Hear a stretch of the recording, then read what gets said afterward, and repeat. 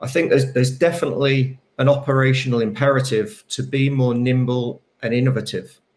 to ensure our operations are running efficiently and optimally, uh, to make sure that we're we're competitive in the current marketplace,